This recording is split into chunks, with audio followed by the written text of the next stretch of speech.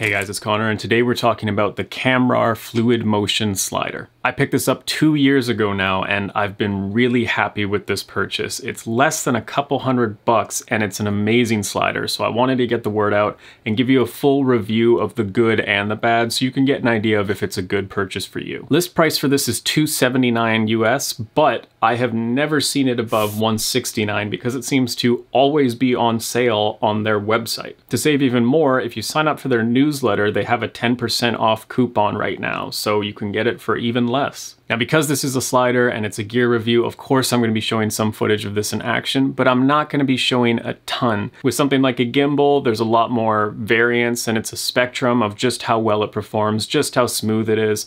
But with sliders, it either works or it doesn't. Kamerar makes several sliders, but this is the fluid motion slider, and it gets its name from the fact that it uses a flywheel counterweight belt system to smooth out the motion. This adds some resistance, so as I start to push the carriage, it takes a little bit to get up to speed. And as I let go, you can see that it'll carry on by itself, slowly decelerating. This is just a great way to make sure that you don't have any sudden starts or stops in your movement, which can be really jarring, and that's not what we're looking for with slider movement. In practice, it's essentially taking a lot of the responsibility off of your shoulders. The slider's doing so much of the work for you that you don't need to be put in this position where you go to start the movement, but it's too quick at first, you make this little jump, and then you sort of get in the groove of the right speed. You don't have that problem because the counterweight is making sure all movement is smooth and steady. Now let's say for some reason you do want to do a very sudden motion. Maybe you're filming an action sequence and you want to quickly go from a character's hand to them picking up an object and you just want to stop right on that object. That's not a problem because you can still remove that counterweight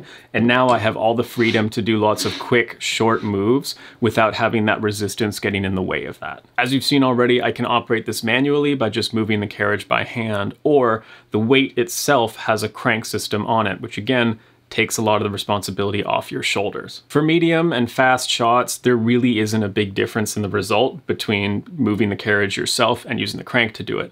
But slow movements is where this really comes in handy. If I want to be extremely slow while moving the carriage, it's really tough because sometimes I'm putting just enough amount of resistance to make it move. Sometimes I'm doing too much and it goes a little bit too fast. Making these precise movements is a lot harder. Whereas with the crank, because it's this larger rotational movement, I can be really slow and go at the same pace a lot easier. Plus I don't have the same resistance I'm fighting against because I'm actually operating it on the counterweight wheel. I think the best thing I can say about the actual performance of the slider because of all these great features is that it's never gotten in my way. I shouldn't have to fight gear to get a good result. And a lot of budget gear does make you fight it in order to get the result that you want. But anytime I've gotten a really poor shot, it's been my fault. I've been the one to screw it up and not the gear, which is the best thing you can ask about any piece of equipment. Moving on to the construction and build quality, we've got carbon fiber rails supporting the slider, and that's a very common choice nowadays because it's very strong but also really light. This means it's so much easier to transport around, and on top of that, if you're putting it on top of a tripod that maybe isn't a high quality tripod, you might not have to worry so much because it's a lot lighter than if you had an all metal build. Now that's great in theory that we can say that it's very light and very strong, but we only really get a good idea when we compare it to more expensive sliders. If we look at some brand names like Rhino Slider, they have a 15 pound weight capacity for a 24 inch slider. Now as the length gets longer, the weight capacity tends to go down a little bit. So this is roughly comparable to the same weight capacity as a Rhino Slider, which is a great brand name company at about 30% of the price. The weight capacity to price ratio is fantastic. It, it, clearly holds up in that regard. But it's not that simple. On its own, the slider can only perform lateral movement, so I can't do any panning or tilting out of the box. But if you look at how sliders are used a lot in film, you're generally having some lateral movement incorporated with panning and tilting on a fluid head as well. The problem is, as soon as we add a fluid head, we're taking anywhere between two to maybe six pounds off that weight capacity right away. I have a Sony a6500 that I'm shooting on right now, and it's a very light camera. But as soon as I've got just the camera cage, the lens, the lens adapter, and an external monitor, I'm already up right around six pounds already. So if I wanna mount that camera with everything on it, on here with a fluid head, it better be a really light fluid head or I'm going to be over that weight capacity. Even if you bought the slider just to push in and out and you're not looking for pan or tilt, you're still going to want to get a fluid head anyway to raise the height because if you're pointing down one end of this, as soon as you pull it all the way back, you're going to see the counterweight in the frame. This is a big downside for me. I don't want to have to be doing a lot of math ahead of time to figure out just what kind of camera rig I can put together for my slider. In a case like this, it might just be better to take some parts off the rig, maybe take the external monitor and use a friction arm mounted on the end of the slider, because it does have the threads for that. But even then, I wouldn't do that unless I was mounting the slider on two separate tripods. If I just mount it on one central tripod, there's a good chance that this is going to start to lean one direction as I move the slider. Another downside to this is that it's not modular, so you can't add longer rails or add a motor system or anything like that. The most frustrating part is that it's not because of the design, because if you look at either end of the slider, you can unscrew the rails.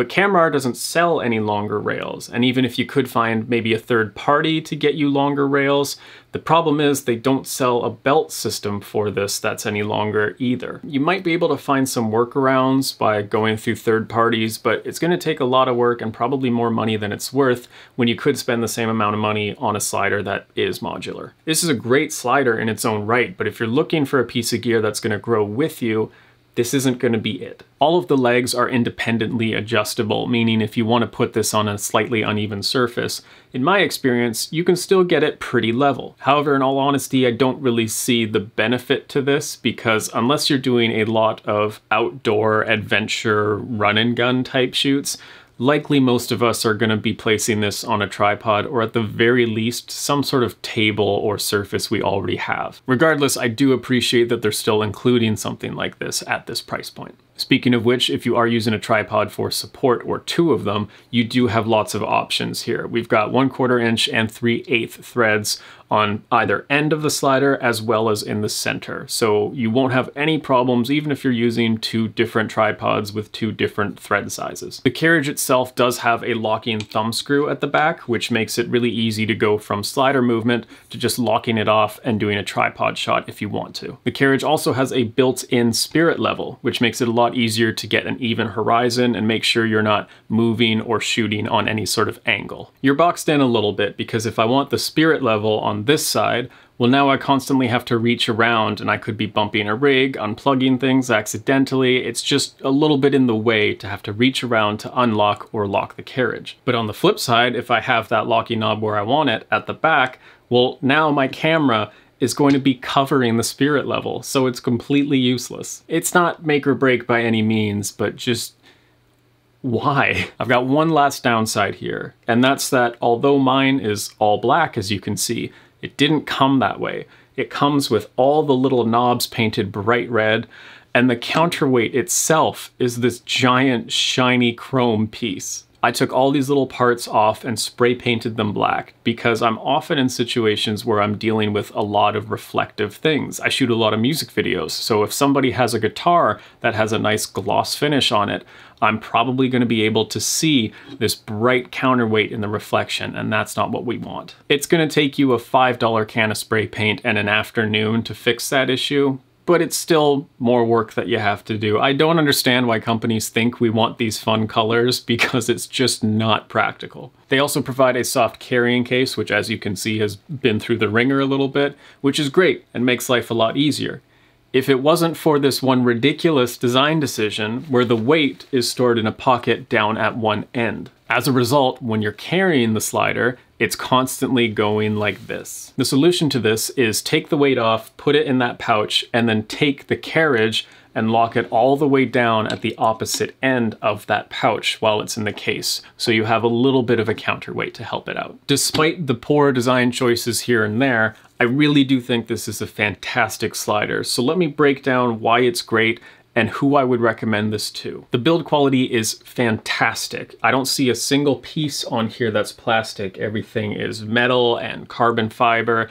And as far as I can tell, after two years, I don't see any signs of wear and tear on this anywhere. The belt and counterweight system are perfect. I have no issues with it. The performance is great. It doesn't fight you. It's the perfect amount of resistance. I find it does the perfect amount of decelerating when I let go of it. I'm really happy with how that's designed. And lastly, it has everything you really need in a slider. It doesn't have more luxurious features like modularity and a motor system, but those are things that frankly aren't available at this price point anyway. That being said, I recommend this slider for two types of people. The first is someone who isn't really sure about sliders, which is who I was when I bought this. If you don't know if you want one in the long term, if you don't know if it suits your style or if you like the kind of movement, this would be a great one to pick up because it's really cheap, but it's not poor quality whatsoever. You know that if you get this slider and it doesn't work for you and you don't like it, you know it's because you don't like slider movement in general and it just doesn't suit your style. It's not because you had a really crappy slider that gave you a bad experience. The second kind of person I'm going to recommend this to is anyone who knows for sure that they want a slider, but you don't need any of the luxuries of motorized sliders and you don't really care too much about having to maybe downsize your rig just a little bit in order to meet that weight limit. Coming in at 169 or even less if you sign up for their newsletter, I can't see how you could possibly go wrong with something like this. If you have any questions about this, please let me know. I'll be happy to help you out. But until then, thank you so much for watching and I will see you in the next video.